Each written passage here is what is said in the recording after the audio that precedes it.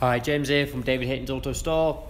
Today we've got this 2016 Audi A3 SE Technik presented in grey. I'm just going to walk you around the car and show you the condition and then we'll jump inside and have a look in there.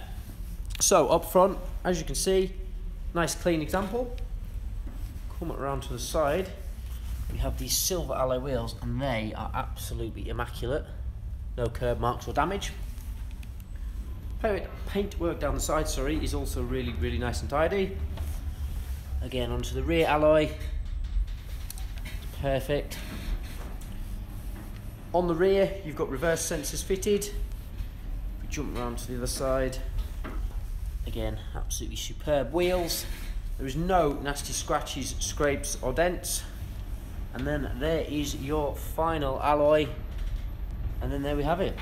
So it's had two previous keepers. All the handbooks are present. It's got two keys with it as well. So if we jump inside, I'll just quickly show you in there.